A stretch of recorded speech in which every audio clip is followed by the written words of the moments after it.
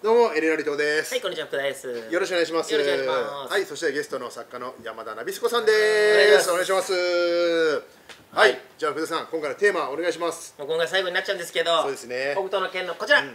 実写化早く発表です。うん。あるんだけどね実写化はありますね。あ実写化あるんですか？ありますよ。ええで、その日本で？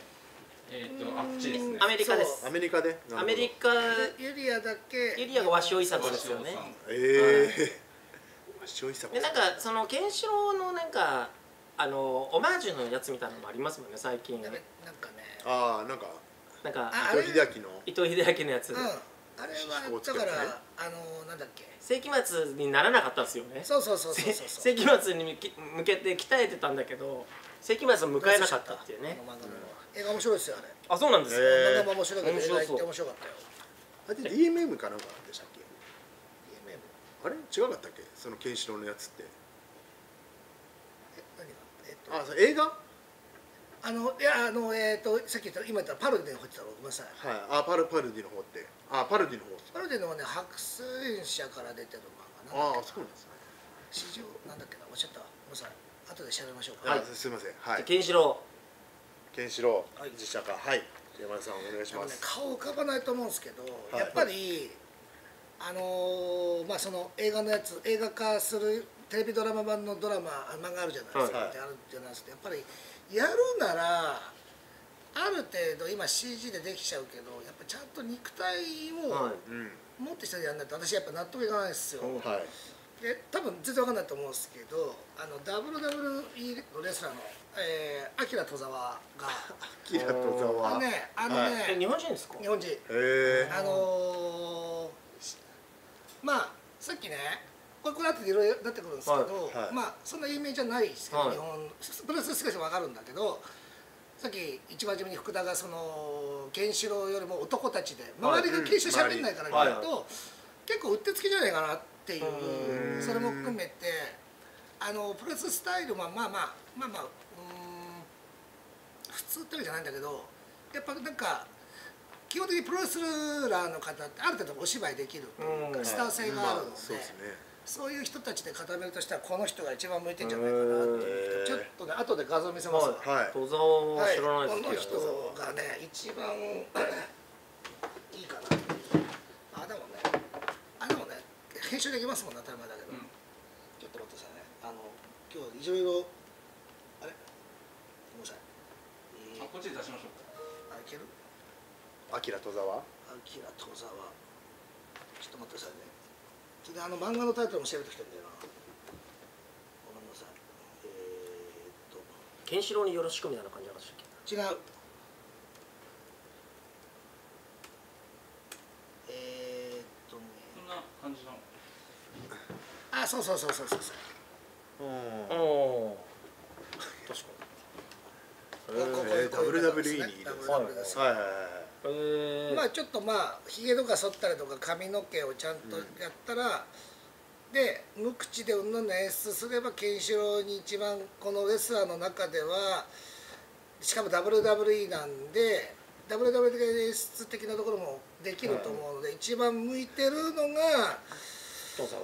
この人じゃないかなという発想をしてまして、まあちょっとおもながでね。そうね。確かに。うん。はいっていうところがちょっとあのー気になる人ははい。画像を検そう索してですね見てみてください。はい、じゃあ僕はケンシロウ役ですね、えーこちらです。斉藤匠ですね、まあ、声がいいんじゃないかなと思ってうんその体型と、まあ、声、うん、雰囲気がねと雰囲気。色気もあるしなんか、まあ確かにね。うんまあうん。そうですね。ギリ説得力というかねそういうのがあるんじゃないかなと思いますね。ちょっとなまあ僕は迫力で攻めます。はい。阿部寛です。いやケンシロウそうだけど。阿部寛。50いくつでしょ今。同い年だよ多分。おい、何してんの。いやいやそんなこと言わないいやいやいやいや。死んだ死んだって言わないで。いやいやいやいや。いやいや死んでる。お前でしょ。お前ちょっと待ってくださいよ俺は死んでる。え早口すぎる。だろお前死んでるんだよ。ドラゴン桜だよとにかく。とにかくみんな聖地に聖地に逆らえ。そんなのある？まあでも僕も斎藤工もちょっと考えました。正直言ってね。まあね。はい。えまああとは、まあ、北村和樹とかね。ー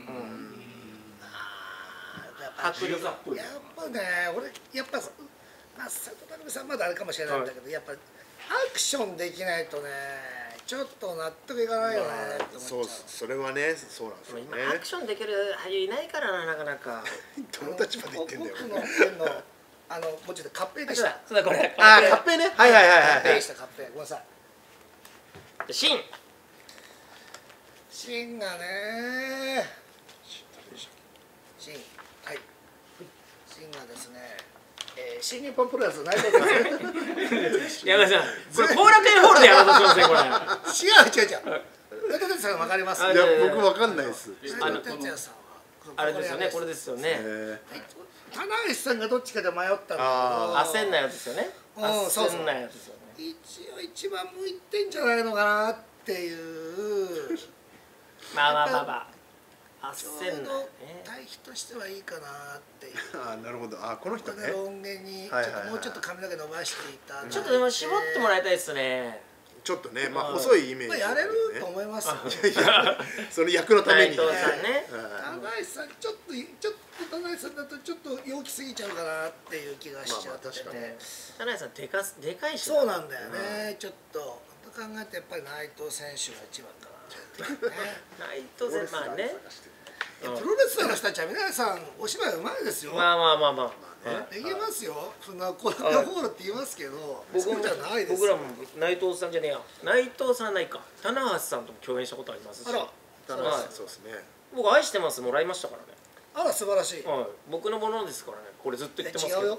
いや僕上半身裸祭り上半身裸祭りに来て上ああそうなんだ、はい、で、愛してますっていうのをどっちが長く言えるかで 俺が長く言えたら俺これもらっていいですかって言っていいよって言って俺勝ったんですよ。おいマジかい。田中さんにまだ本当田中さんに。に棚橋さん本人もあげますって言ってましたよ。愛してます。俺のものなんですよ愛してます。ダメちゃんじゃ言ってちゃい おい田そう。中さん俺のですよ何してんのあの人。文句言った方がいいですよ確かにね。はい。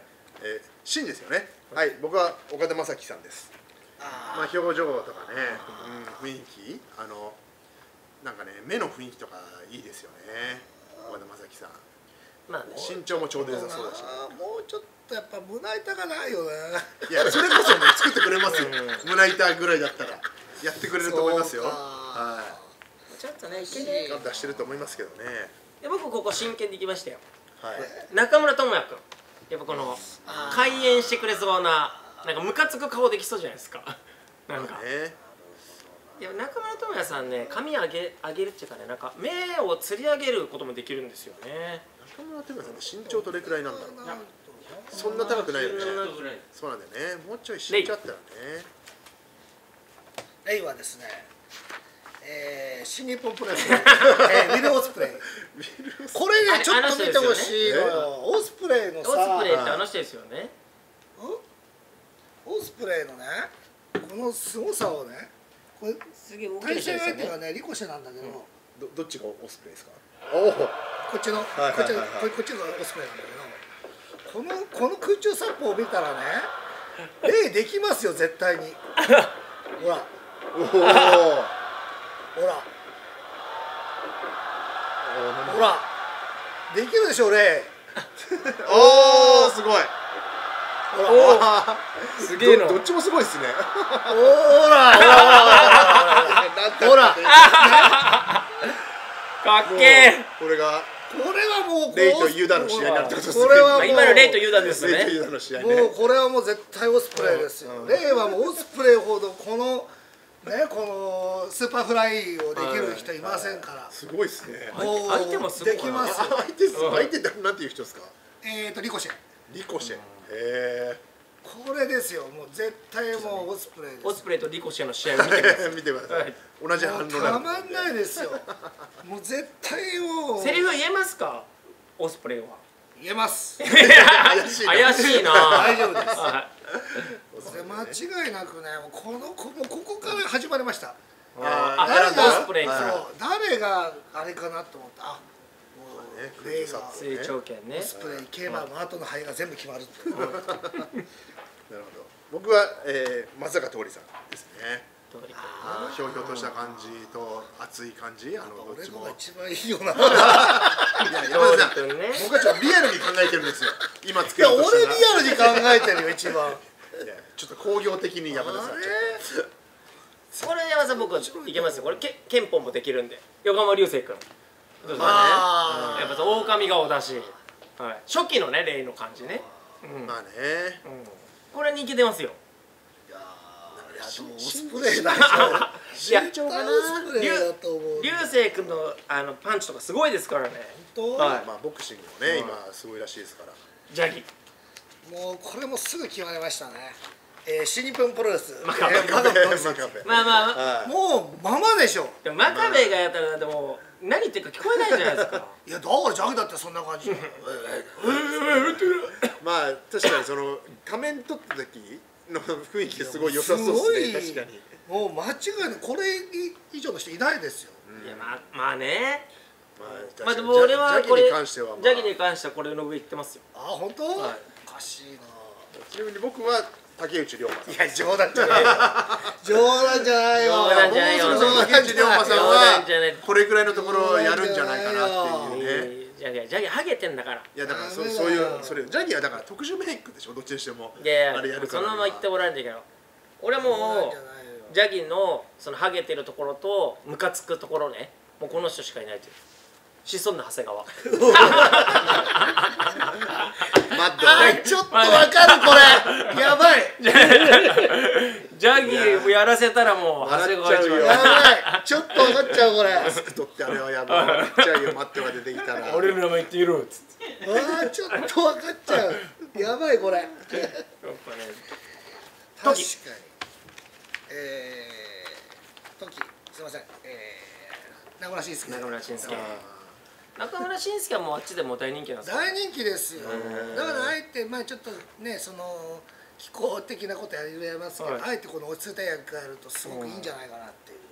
中村慎介さんね。髪の毛を伸ばしていただいてでかかったです。僕中村慎介さんもご一緒したことあるんですよ。あら。ででかいすげえでかかったっすよ。でもねやっぱこんだけ WWE にすごい日本のね、うん。ちゃんとこう。一番人気出た人ですよね多分そう WWE ねで日本人。今までの中ではね。そうですよね。今までで一番じゃないですかとんでもないトップスターですから。はい。時僕は、えー、ヤマピーですね。いやえいやいやいやいやいや。ヤマピーいいと思いますよ。あの髪型もねちょうどいいしヤマピーにひげ生やして。なんか優しさがな。ー、とな。ーいやヤマピーも大人になりましたから。いのか。いやヤマピーもうだって30いくつですよ、うん。言っても。あのー筋肉ムキムキすいぎるな筋肉む いやだからいいじゃん。筋肉ムキムキだから。それこそ昔ね又吉さんにやってもらいましたもんね。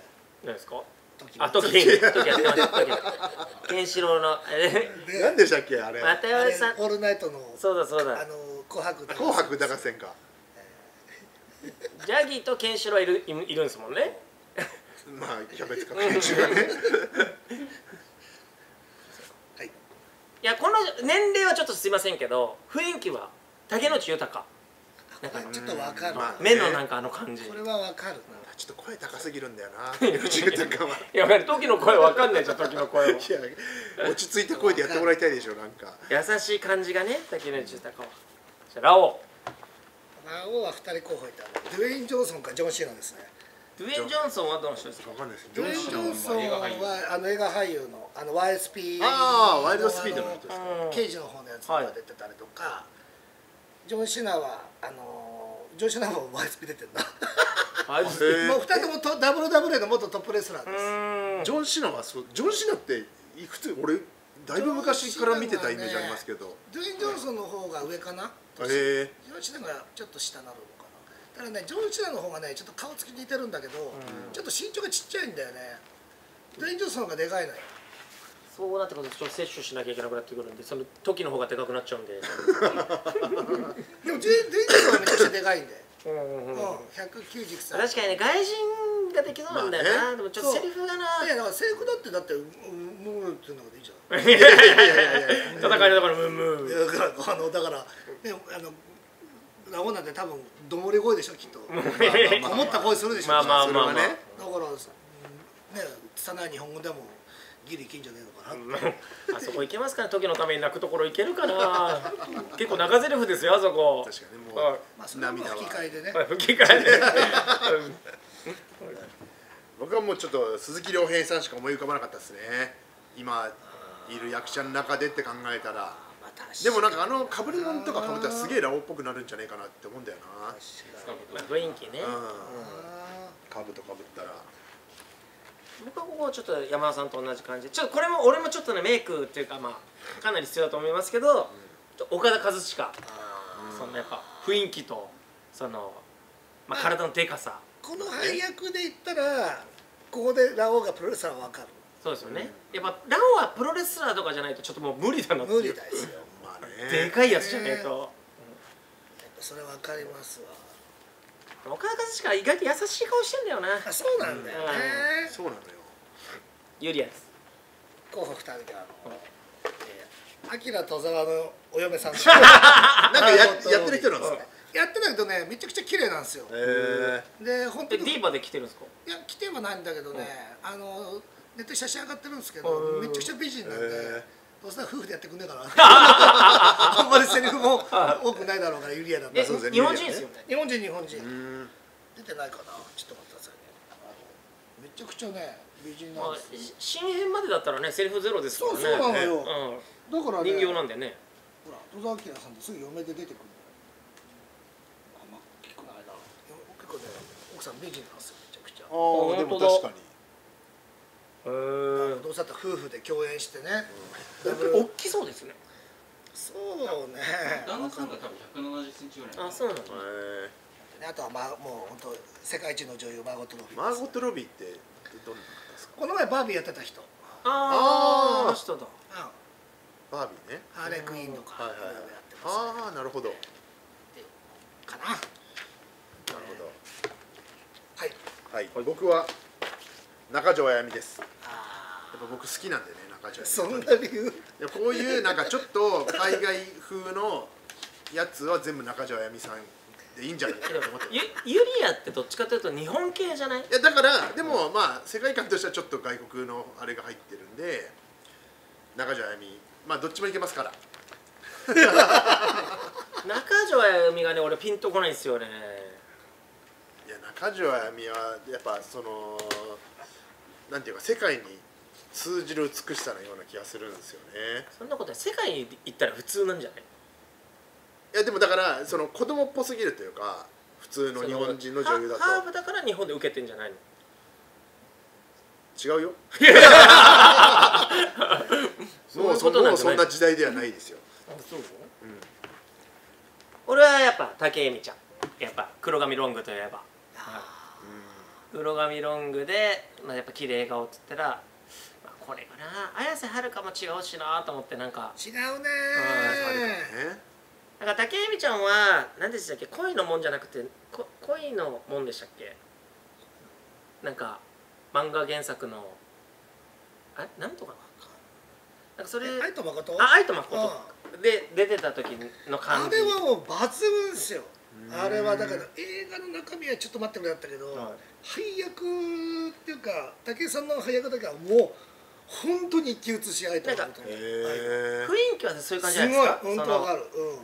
ユリアもなんかそういう感じじゃないっていうかあの清清楚系というか、竹恵美ちゃんいけそうなんだよな。てかあんま今いないっすね。でも考えたら日本人で清楚系が似合う感じの女優ってあんまいないなと思って。います？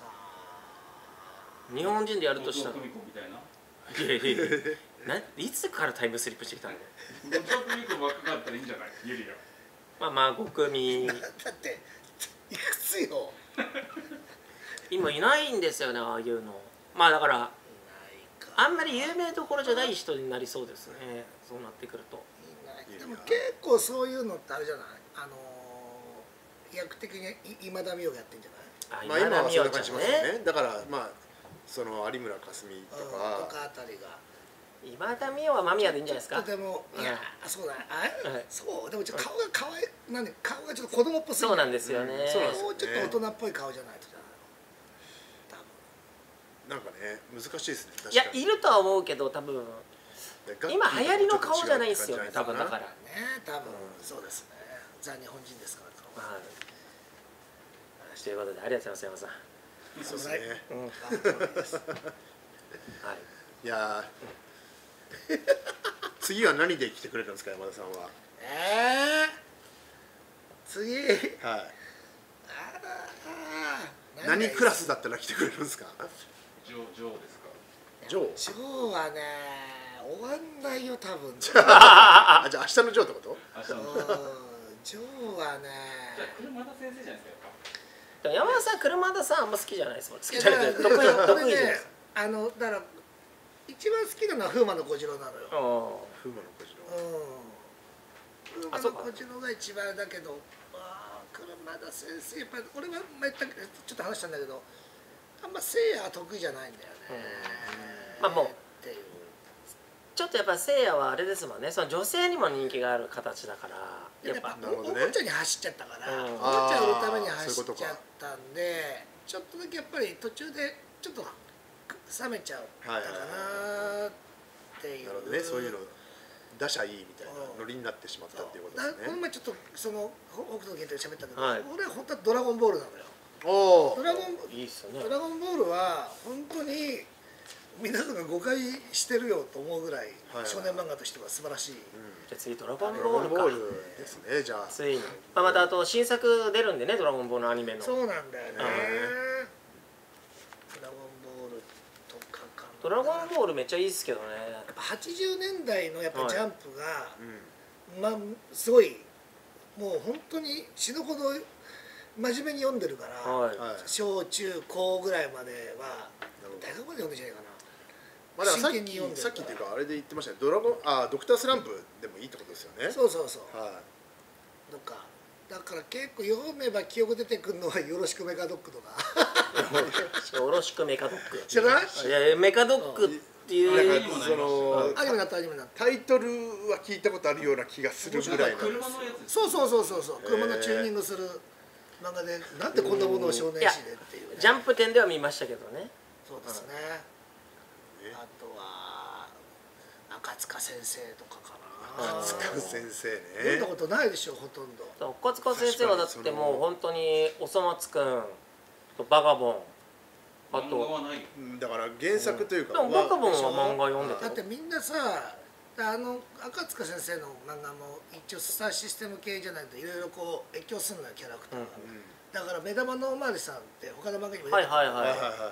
あのおまわりさんってさあれ知ってる？あれ。勝手におまわりやってるの知ってる？あそうですそうです。おまわりさんじゃないですよそうだようん。えー。勝手にやってんだ。あの人そうですおまわりさんのコスプレをしてコスプレをしてどね勝手にやってるんですよね。元々はね。やばいやつですね。やばいやつ勝手にやってんだよね。お年玉届けに行くと使っちゃうんだよあいつめちゃくちゃやばいやつなんですよ。なるほどね。しそうですね。ちょもうキャラクターぐらいしか結局知らないですよ、そう。なったらなってくるでしょ、はい。っていうなんかもったいないんだよね。みんないろいろ知らないことが多くてっていう。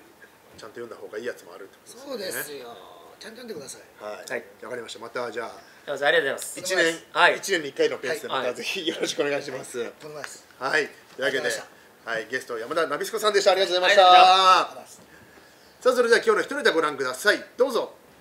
私はとうに女を捨てたわ。今、あなたの目の前に立っているのは女ではない。この村を守るためのただの戦士、間宮よ。女でないなら胸を隠す必要などないやったってる。どうも、あずました。言ったはずだ。あなたのすべてを目指したと。この拳は私の最後の戦いすなわちあなたとの戦いまでは使わん。と誓っていた天を見よ見えるはずだあの市長生がえないないよいや嘘つけどうもありがとうございました